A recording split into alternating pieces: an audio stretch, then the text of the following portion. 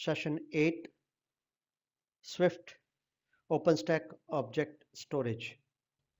Agenda of the session is overview of Swift Object Storage, managing permissions on a container in object storage using curl command curl tool for working with Swift and managing expiring objects monitoring Swift cluster. Swift is the project which is used by Oracle Cloud Infrastructure OCI also for object storage. Overview of Swift object storage. OpenStack Swift is highly available, distributed, eventually evenly, eventually consistent object storage, object software defined storage SDS system. In contrast to file storage, object storage works with objects that contain data and metadata both, like virtual machines, like directories, like files, like zip files, anything which it can it can store anything. Generally movies, images, it can have anything. Generally object storage provide access through an API. Objects are available via URLs and HTTP or HTTPS both protocols. Object storage can distribute requests across a number of storage hosts. All objects are accessible in one single namespace. And object storage systems are usually highly scalable. You can keep on adding the storage, keep on adding, creating the pool, and the pool will be available for uh, service software as a service or infrastructure as a service for your customers for your tenants. Logically swift consists of three levels accounts containers and objects. Account. In swift corresponds to the project or tenant. In other openstack services. Swift users are primarily people who have a username and password. The user corresponds to account in other OpenStack services and objects are actually that are stored in containers that belong to accounts.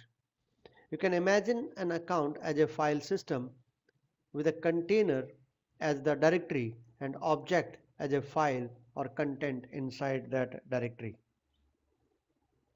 The logical objects in Swift so this is the logical figure where, that explain the concept that on the top level we have account. Inside that we create containers. In AWS we call them as buckets. In OCI Oracle Cloud Infrastructure also we call them as buckets. And in OpenShift, Open sorry OpenStack we call them as containers. So we create containers. Inside the containers we put objects so this is one container this is another container. So we create containers. Inside container we upload objects. Object path and object storage. You can identify each object by its path. That will be account name slash container name slash object name. By default the data stored in Swift will be replicated three times that is why we need at least three machines three computers to create a proper object storage system. And that is the reason we have uh, three machines in our cloud. The main services of Swift are object account and container services. You can start working with containers from command line with the swift stat command.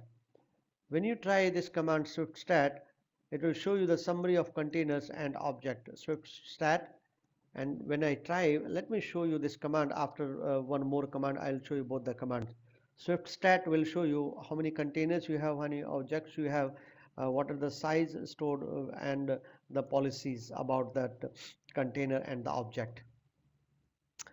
Let's understand uh, working with objects.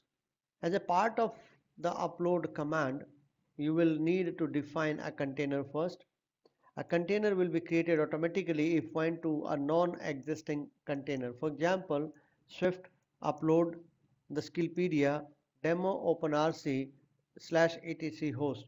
So these two will be uploaded on this container if you check on the object storage uh, cloud you will see that and similarly if you want to try this command swift stat grep containers you will see the containers are created swift stat and verify that this file for example this file is uploaded. Swift upload the skillpedia demo openrc etc. host and both these files are like this is a directory. This, uh, I mean this is a file this is another file. Both files are uploaded in the container the skillpedia and you will see them and I'm going to demonstrate the same thing. So here you can see on my system I just executed the command swift stat. This is my account on uh, cloud OpenStack cloud this is my account. My I have one container one object and then the bytes size. Then I uploaded this Swift upload the Skillpedia demo openrc.sh etc host. And then if I try the same thing demo stat you will see the status changed after this upload. So I have two containers now three objects now and these many bytes and these are the policies about this horizon and the objects can download upload the containers. This is the object storage. Anything can be uploaded here. So this is object store. Click on containers and this is the container which was created. And this is the hello world. This is the skillpedia container. And you see the file and etc uh, directory complete directory along with the folder is created here uploaded here. Similarly if you want to create a container you can click create container let's say a new container oracle container.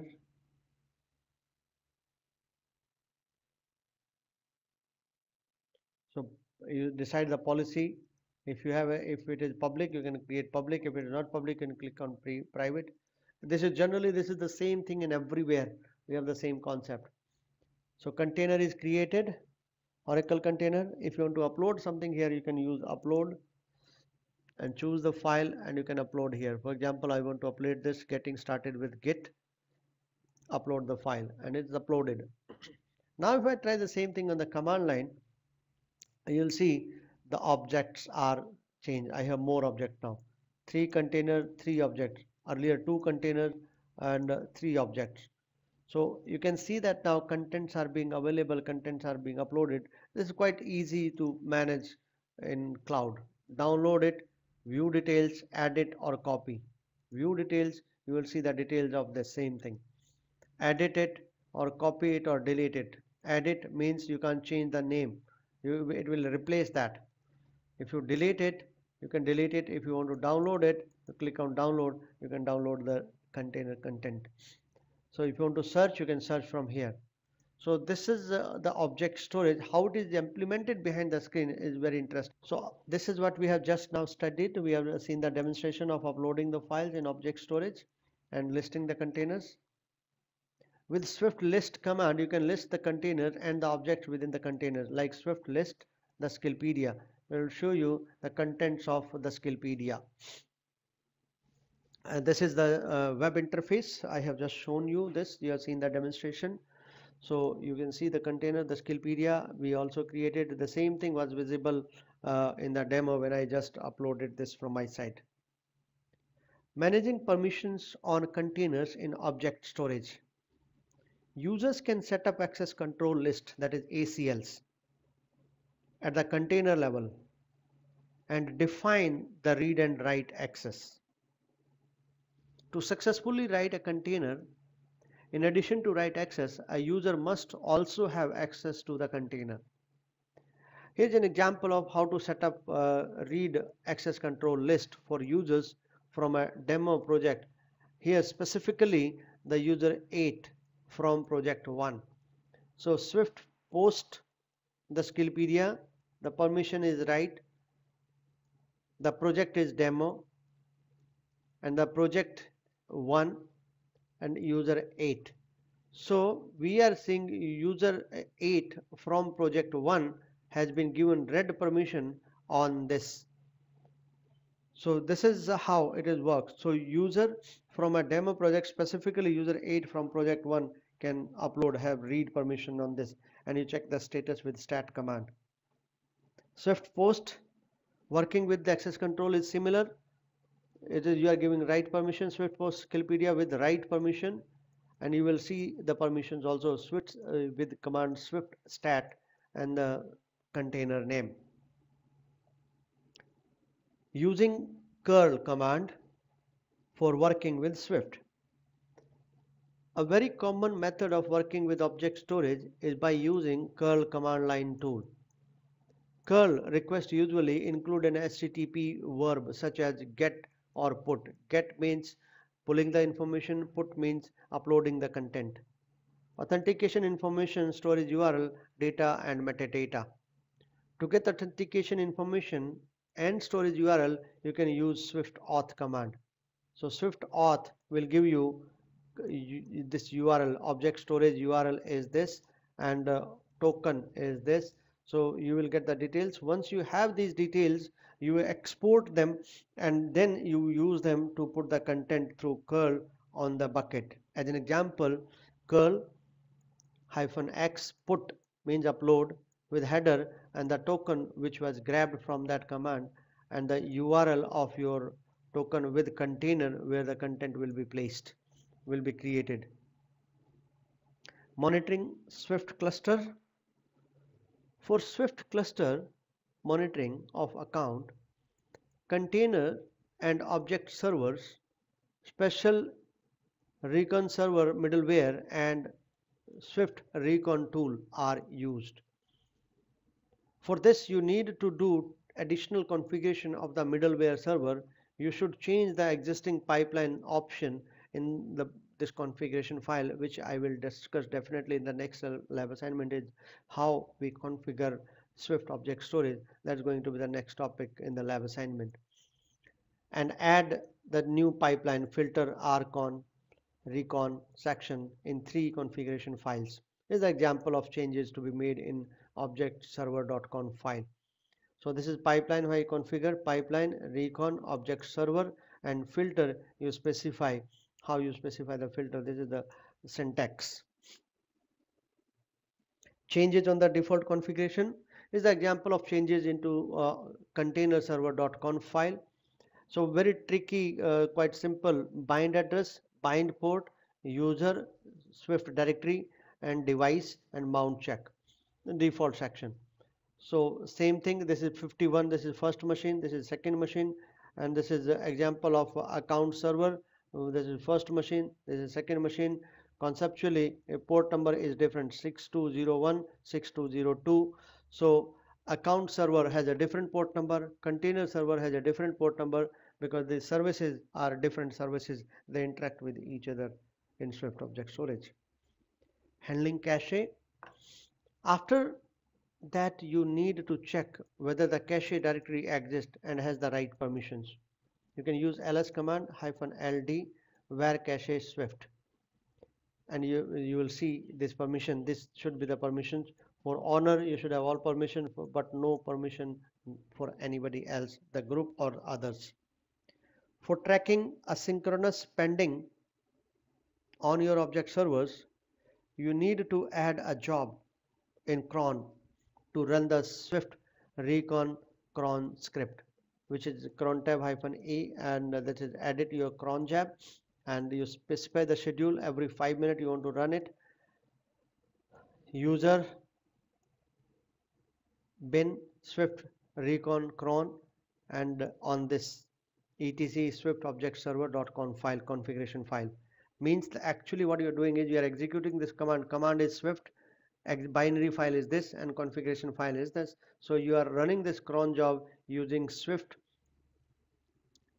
along with the binary file and the configuration file to supply to that binary executable. Now you can try to obtain the cluster load average state swift recon hyphen l. So that will give you reconsigns this on to host and will put the load and balance the load. It will take care of the load balancing on its own. Disk usage stats you can use swift recon hyphen d that will give you the disk usage statistics with hyphen d option swift recon hyphen d and that will give the status disk uses the space uses lowest uses highest uses average uses what all disk you have and how much space is used from those disk Replication stats and the last example we allow, uh, we will allow you to obtain the replication statistics also with hyphen R. When you use hyphen R, you'll get the replication status on your disk because it is, as I said, it is distributed disk where your objects and containers are stored. Test your learning is up to you. I leave it to you, this uh, quiz. That's all from my side. Thank you very much.